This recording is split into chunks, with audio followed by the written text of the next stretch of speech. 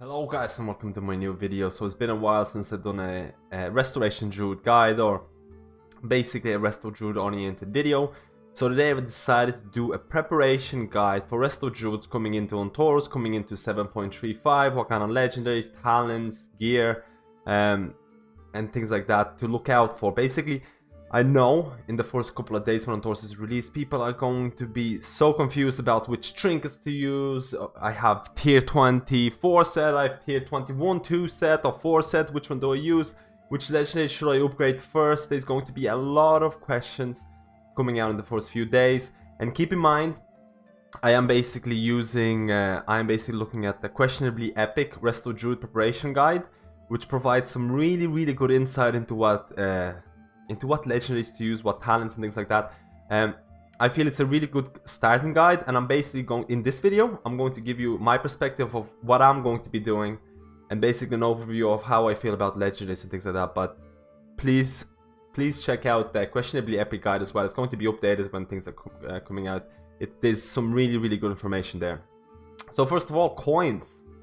First of all, coins. Uh, this is something that pe uh, people tend to forget. They're going to Tumus or Antorus is going to use the same coins as Tomb of Sargeras was using, so make sure that you have 6 coins before Antorus is released.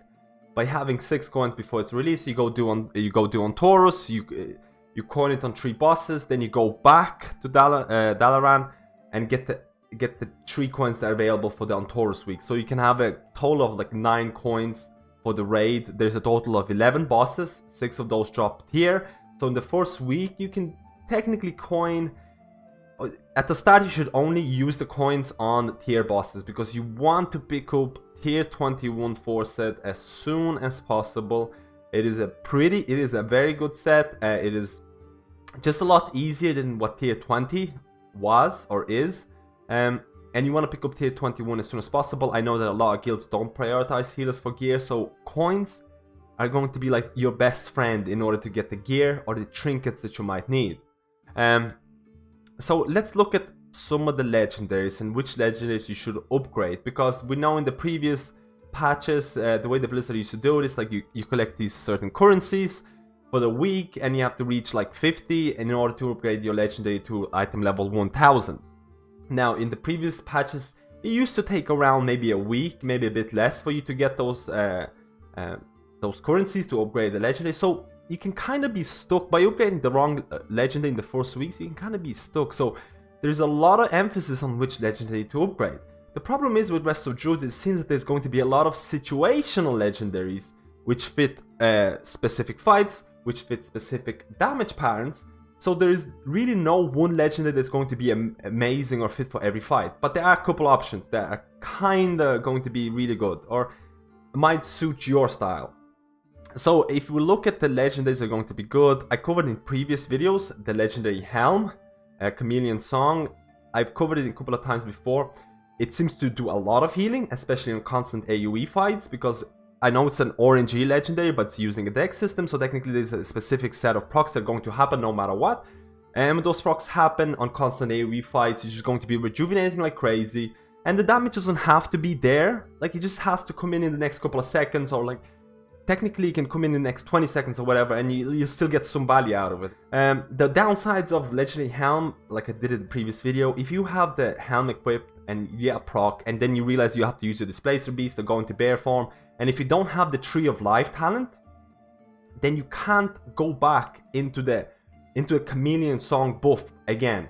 if you shift into bear, and you shift out, you won't get the buff anymore if you don't have the Tree of Life talent. So there's some weird playstyle going in there where you can toggle and toggle out of the buff if you use the Tree of Life talent, but if you don't have it and you have you have to use Displacer Beast, then the buff is gone. So on a fight, so there's going to be you might have to soak something, or you going there's going to be a lot of movement, and Displacer Beast might be used a lot. You have to consider that.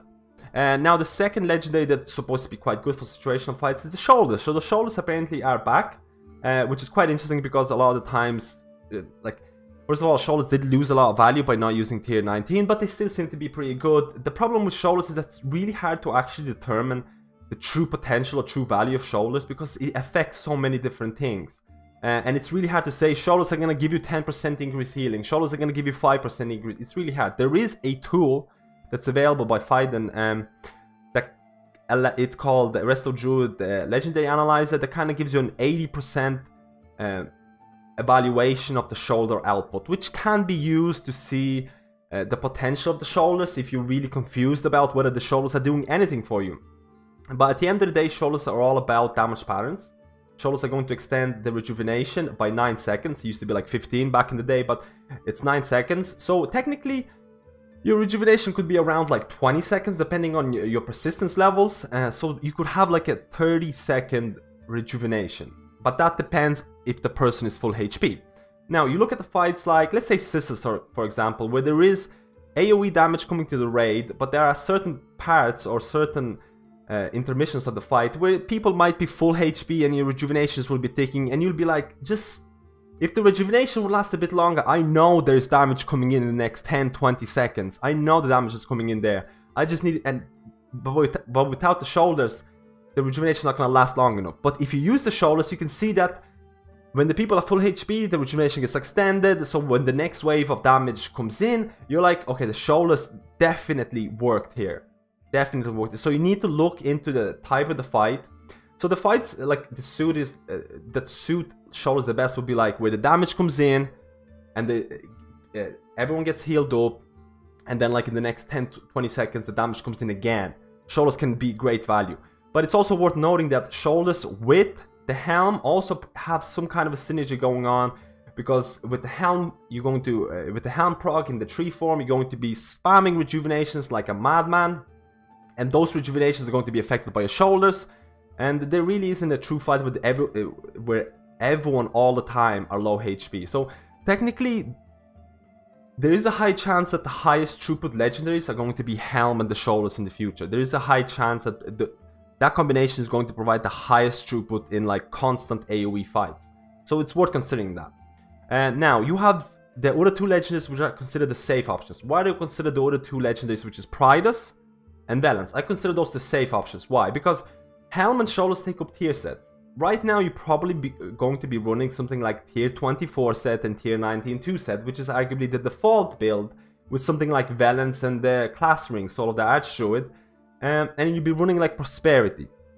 So this is like a, a, very popular build that's going around for in Resto Druid community. You'll probably be running something like this, and you're like, do I upgrade Helm right now and realize that this helm might not work on a certain fight, do I take that risk? So if you don't want to take that risk at the start, it's very possible or very advisable, at least for me, to maybe even look at upgrading like Prydaz or Velen's.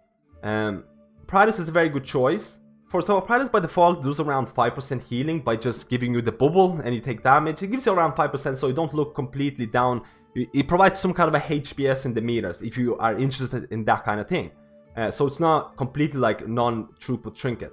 At the end of the day, Prydaz is one of the best legendaries if you're unsure about a fight and you think like I might die or I'm not gonna I'm not gonna use bear bear in, in time because I'm not sure about how fight works.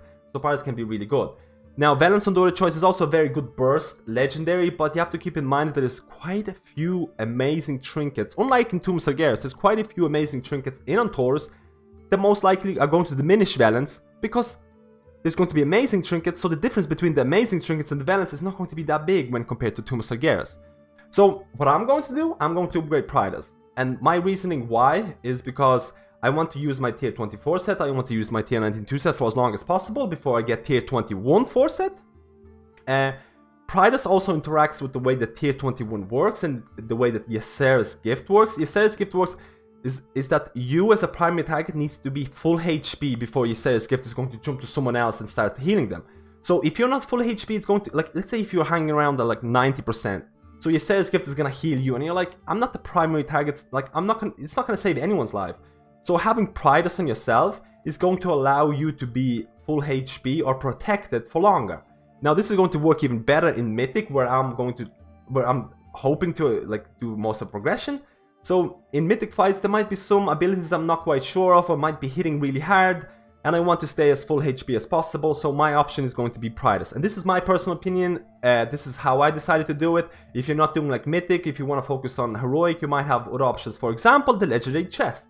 The legendary chest I did a video about this, it, it has complete, it has somewhat interaction with tier 21 4 set, not the 2 set. It just affects the 4 set. It affects the Ysera's Gift healing.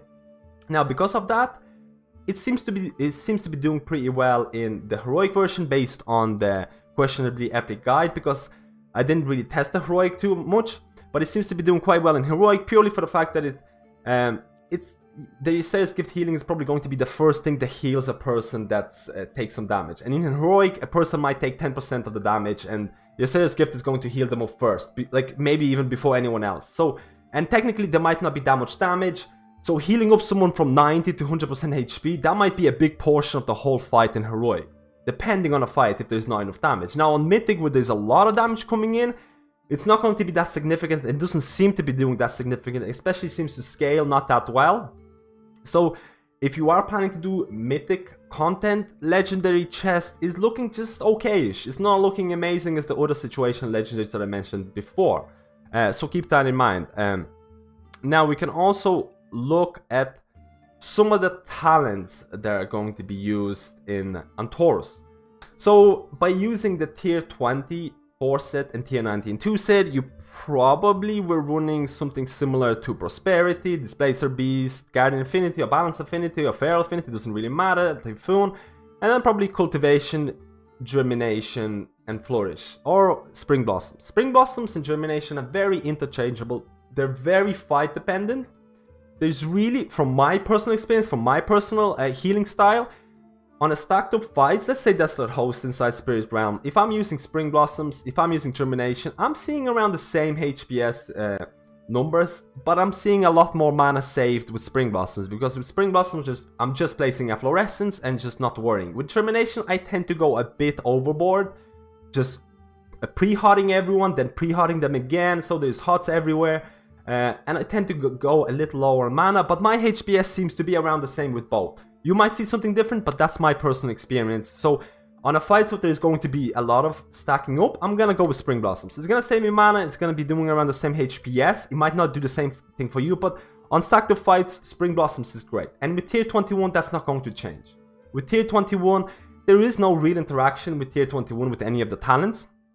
So Spring Blossoms and Germination, if people are stacked up, Spring Blossom is gonna work great. If people are a little spread out, or if there's a dot, on people that last for quite a while, which there are a couple of fights like that, Germination can be a great option. Make sure if you're using uh, if you're using different kind of health bars, make sure you have the debuffs enabled on them so you can see the early debuffs. Because in, if you if you're not able to see which person has debuffs at the very start, you can't play Germination. You're not sure if they're gonna have a debuff for a long time. So that's very very important tip. And also to keep in mind with tier 21, once you pick up tier 21 4 set, you most likely will swap out of Prosperity you're not going to be running Prosperity anymore. It's back to the Cenarion Ward, just provides uh, a bit more HPS, provides tank stability, and you most likely will be running Cenarion Ward. Besides that, everything else is kind of the same.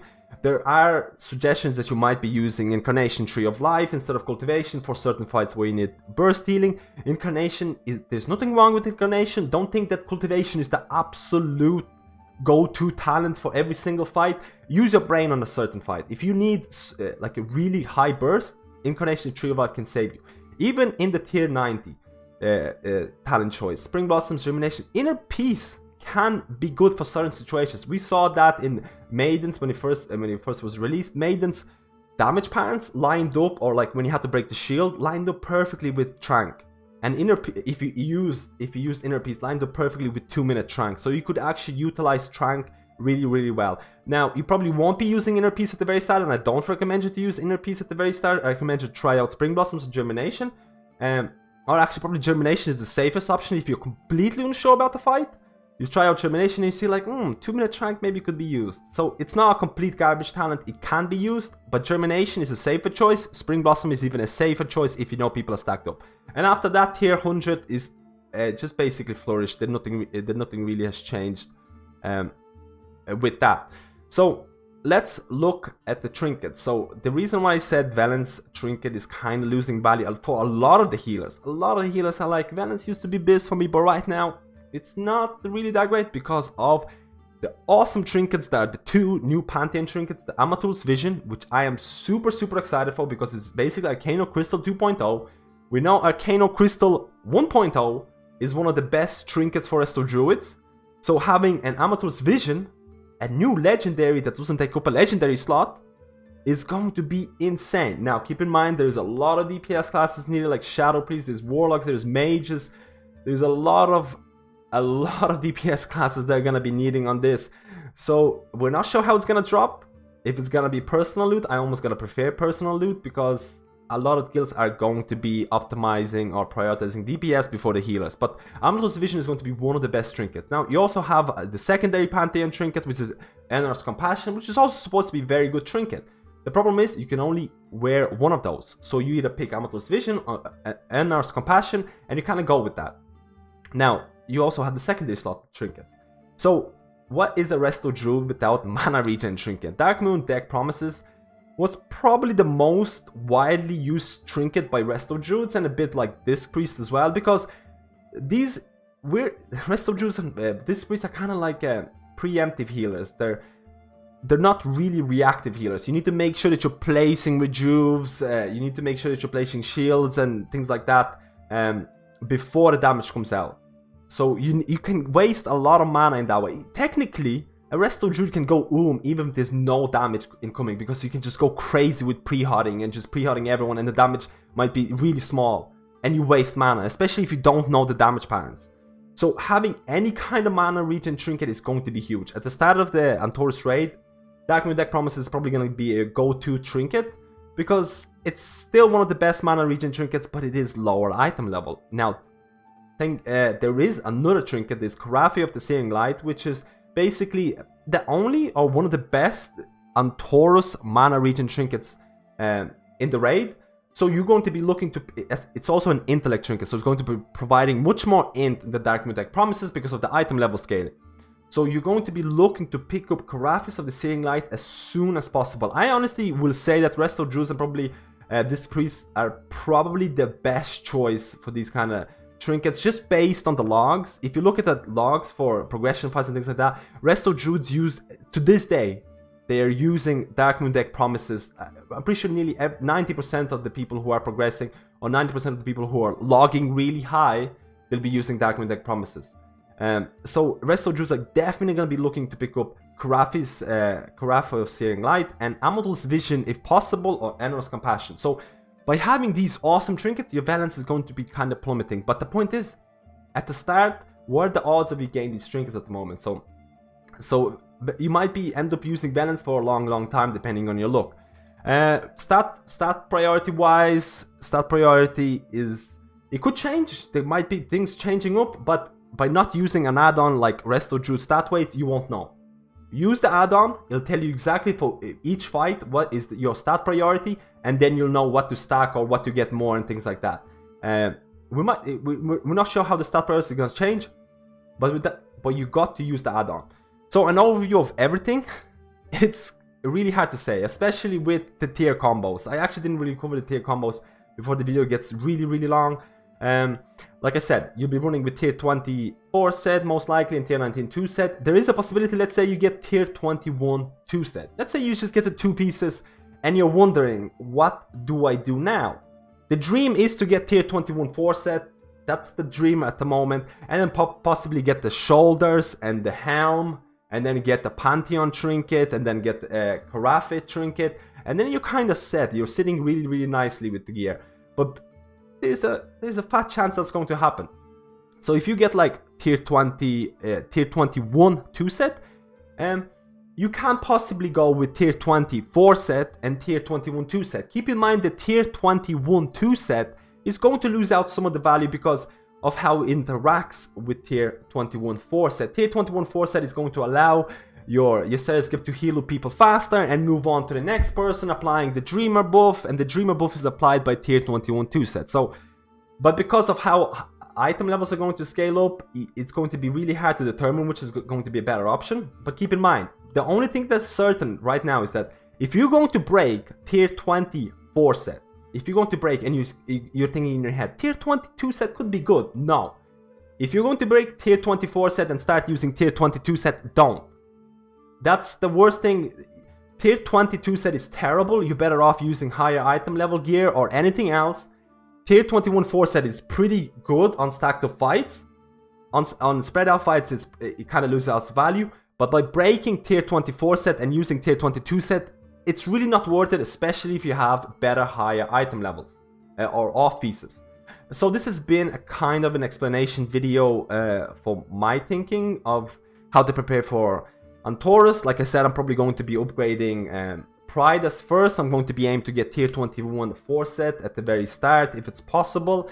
I am looking forward to Aman'Thul's Vision if I can get my hands on it and I absolutely will need a mana regen trinket because I know I pre-hot a lot and I can go a little bit too crazy with uh, rejuvenations, especially with germination, so I am looking for Karafi of Searing Light as soon as possible as well.